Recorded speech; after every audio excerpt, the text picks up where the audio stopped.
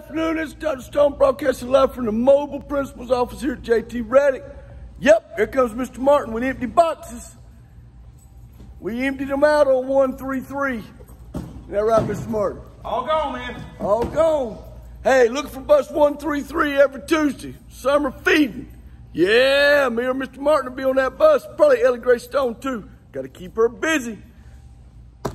We'll be coming on that side of town over there by Dairy Queen, the Potter's House. School nutrition here in Tift County rocks.